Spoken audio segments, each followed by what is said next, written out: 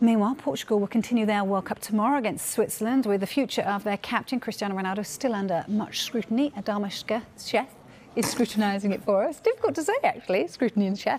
Anyway, hi. uh, welcome along. Uh, what can you tell us? Yeah, look, this one looks like it's moving a little bit more quickly now. If you mm-hmm. go back 13 days, so less than two weeks ago, that was when Manchester United mutually terminated Cristiano Ronaldo's contract. They said at the time they didn't want it bleeding over into Portugal's World Cup campaign. And that is exactly what's happened. Since then, our colleague Gary Cotterill has said that Cristiano Ronaldo's likely destination is going to be Saudi Arabia, where he will be an ambassador for Saudi Arabian football as well. Now, you remember in that interview with Piers Morgan, Cristiano Ronaldo said that he had an offer during the summer from Saudi Arabia. I was since told that Manchester United would have accepted that offer, which was worth around 300 million pounds in total.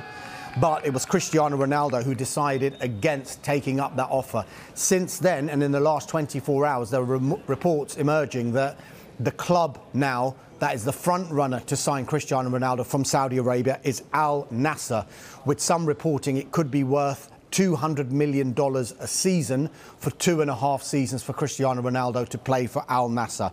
Our information is that at the moment that's the best offer on the table for Cristiano Ronaldo, and everything on his future will be decided once the World Cup for Portugal is over. But it looks like it's, it's edging towards what Gary Cotterill was saying a couple of weeks ago that Saudi Arabia looks likely to be his destination.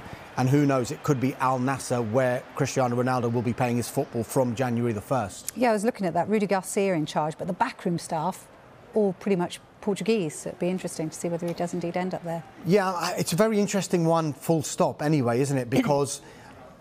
the, the information we were getting from that interview when you read between the lines was almost that Cristiano Ronaldo didn't want to go to Saudi Arabia at the time and maybe stay in one of European football's top leagues mm. to continue competing with Lionel Messi when they come to Champions League records and, and other records because we do know as much as Cristiano Ronaldo wants to win trophies, individual records matter to him as well. Yeah. It's clear that if he was to go to Saudi Arabia, it would be a lot of money and he's likely to score a lot of goals out there as well, which would increase the number of career goals that he has.